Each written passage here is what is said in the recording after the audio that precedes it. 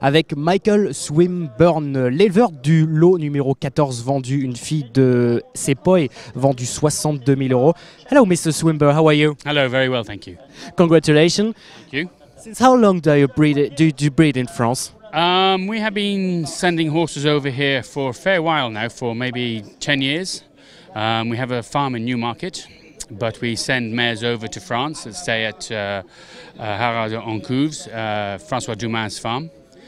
And, uh, you know, we to qualify for French premiums and for the French market, we send horses that are maybe English stallions and uh, Like Sepoy? like Sepoy, like we just sold a Mount Nelson there also for um, 28, which was nice. Um, so that's that. But your government may be messing it up a little bit with putting the VAT to 20%. You know, they have a good industry and they maybe. Is that, the, is that difficult for you?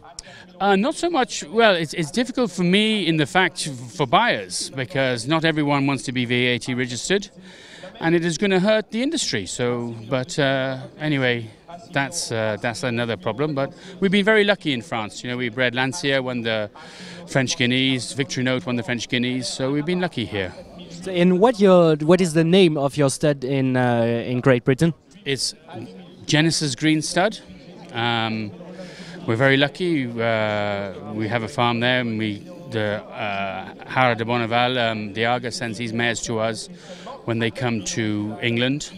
Um, so we're very lucky with our clients. And how many mare do you got in total? Uh, of our own, we have probably 15, 16, which half we send to France, to Oncouves, um, to. Uh, uh, for us to sell fillies here, it's, it's, it's, it's easier. You know, your, your prize money in England, the prize money is not very good.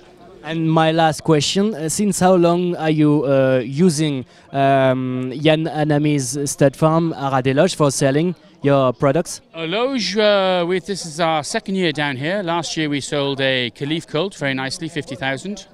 Um, and uh, Mousy speaks English, so for me it's easy. so. Thank, thanks very much, Mr. Swinburn.